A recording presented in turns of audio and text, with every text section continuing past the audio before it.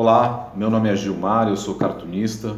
Fui premiado com menção rosa na categoria Arte nesse 40 Prêmio Vladimir Herzog. Eu gostaria de fazer um convite para todo mundo, principalmente para os é, estudantes de jornalismo, para a sétima roda de conversa que vai acontecer entre os premiados dessa edição, que vai acontecer lá na quinta-feira que vem, no Tucarena.